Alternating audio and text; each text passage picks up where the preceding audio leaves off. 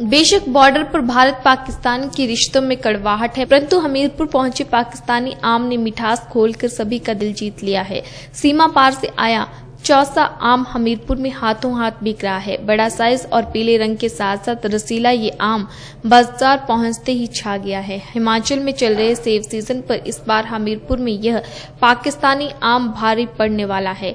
अब लोग इसकी डिमांड कर रहे हैं। हालाँकि आम का दाम आम आदमी की पहुँच से बाहर है, फिर भी इसकी डिमांड बनी हुई है। शहर में ये आम दो रुपए प्रति किलो के हिसाब से बिक रहा है। पड़ोसी मुल्क के मुल्तान इलाके से पहुँचे इस आम की डिमांड इसीलिए भी ज़्यादा है कि, क्योंकि अब लगभग सभी जगह लोकल आम मिलना बंद हो चुका है। मार्केट में बाहरी मंडियों से जो आम आया, उसका रेट भी 50 से 60 रुपए प्रति किलो से कम नहीं था।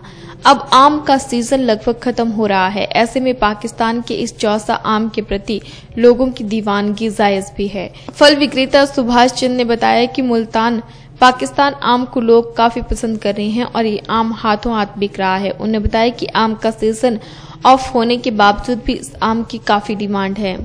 आम, मुल्तान से। चौसा आम है ये, बहुत डिमांड है इसकी, यहाँ पर। मीरपुर में, पंजाब में, हिमाचल में, सारे में डिमांड बहुत है और बिक रहा है हाथों हाथ। ढाई सौ रुपये बिका था, अब एक सौ अस्सी रुपये किलो बिक रहा है।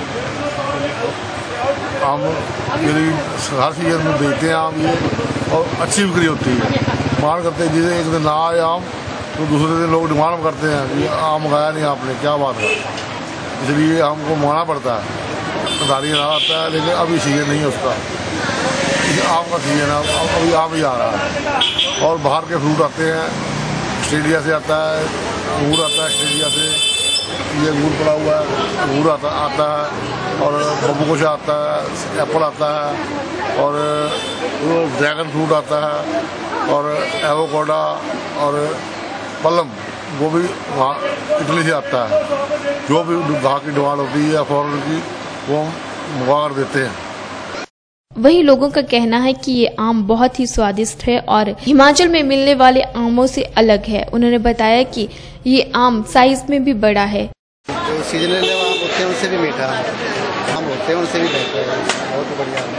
अपने सीजनल आम से ज़्यादा स्वादिष्ट है। इसलिए इसकी बहुत सेल और इसका स्वाद अलग स्वाद है अलग स्वाद है। और कोई पीस जो है ख़राब बहुत कम निकल रहे हैं खराब। जैसे इतना बड़ा पीस लेते वक्त सोचते हैं कि खराब निकले निकलिए बहुत कम खराब निकलता है। काफ़ी अच्छा है।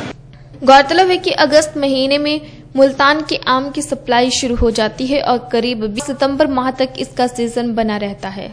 ऐसे में इनकी सप्लाई यहाँ आती है। अब मुल्तान का आम स्वाद, चर्चा और रेट में सुल्तान बन गया है। पाकिस्तानी चौसा किस्म के इस आम की जमकर खरीदारी की जा रही है। इसके साथ ही ऑफ़ सीज़न फल भी हमीरपुर की मार्केट में अपनी धाक जमाए हुए हैं। सहारनपुर बंगलुरु का खरबूजा भी लोगों को काफ़ी पसंद आ रहा है। कैलिफ़ोर्निया का अंगूर, थाईलैंड का अमरूद भी लोगों को अपना स्वाद दे रहा है। ये सभी ऑफ़ सीज़न फल शहर में धड़ल्ले से बिक रहे हैं, जिसके अलावा हिमाचल व कश्मीर के सेब ने भी मार्केट में अपनी पहचान बनाई है।